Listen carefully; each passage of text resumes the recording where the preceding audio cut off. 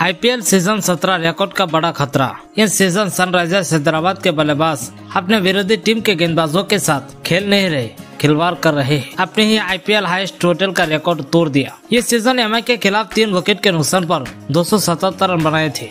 जो IPL history का सबसे बड़ा टोटल था। उसी रिकॉर्ड को तोड़ते हुए आरसीबी के खिलाफ तीन विकेट के नुकसान पर दो सौ सतासी रन बना दिया। अब ये आईपीएल का सबसे बड़ा टोटल है। आज आरसीबी के खिलाफ इस मुकाबला में एसआरएस के बल्लेबाजों ने सभी गेंदबाजों को बराबर पिटाई की। छह में से किसी भी बॉलर को नहीं छोड़ा।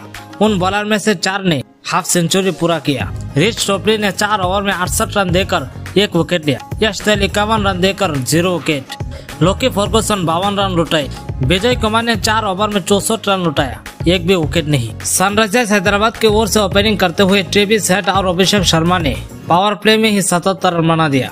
हैदराबाद की ओर से अभिषेक शर्मा ने 22 गेंदों में 34 रन और ट्रेविस उनचालीस गेंदों में आठ छक्का और नौ चौका के मदद से 101 रन बनाकर आईपीएल में फास्टेस्ट सेंचुरी लगाने का रिकॉर्ड भी अपना नाम किया।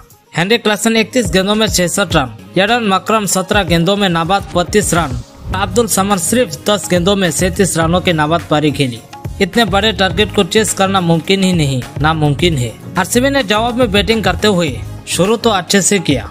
पावर प्ले में उनासी रनों की विराट कोहली और फाफडो प्रोसी ने आक्रामक पारी खेली। पावर प्ले खत्म होते ही विराट कोहली ने अपना विकेट गवा दिया। कोहली के बैट से 20 गेंदों में 42 रन आए। उसके बाद आरसीबी पहले 10 ओवर में 122 रन तो बना दिया। साथ ही पाँच विकेट भी गवा दिए। आरसीबी के ओर से सबसे ज़्यादा रन दिनेश कार्तिक के बैट से आया। उन्होंने 35 गेंदों में तिरासी रनों की पारी खेली, लेकिन टीम को जीत नहीं दिला पाई और यह मैच 25 रनों से सनराइजर्स हैदराबाद ने अपना नाम किया।